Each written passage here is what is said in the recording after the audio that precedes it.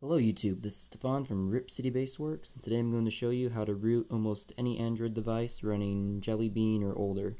I'm going to demo this on the Galaxy S2 i9100M. It should indeed work on almost any Android device, older Android device though. So to start off, I am running Android uh, 4.1.2 Jelly Bean and this is just the stock uh, firmware. So I'm going to verify that this device is currently unrooted. Now, you're going to want to go to an internet browser, doesn't matter which one. I'm just going to use the regular stock browser. You can use Firefox, Chrome, whatever. So you're going to want to go to a site called Kingo Root.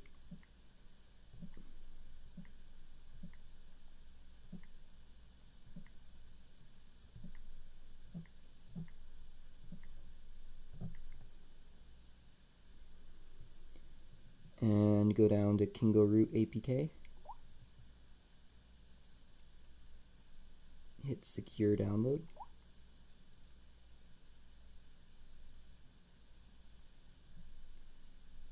Wait for it to download. I already have it downloaded, so now you're going to see this security pop up. Go to settings, scroll down, check the unknown sources box, hit OK at the prompt. Now go home, go to apps, go to your file manager, all files, uh, go to wherever the default download directory is. Mine is in my external SD card. Go to downloads, Kingo Root, install. Now just wait for it to install, it shouldn't take very long.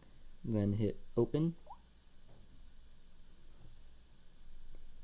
And now unclick install recommended app, that's just bloatware.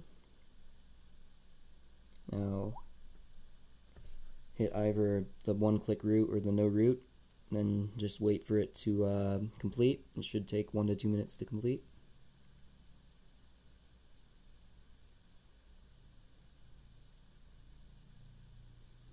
Now don't worry if it gets stuck on 90% for a while, that is normal. Now root has succeeded, let's verify this.